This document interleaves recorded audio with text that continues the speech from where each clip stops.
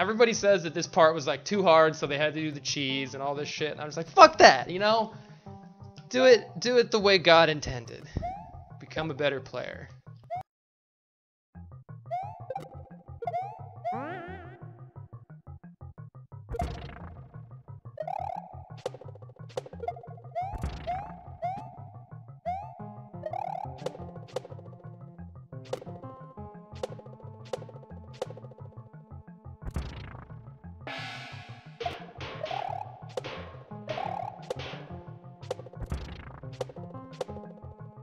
Thank you.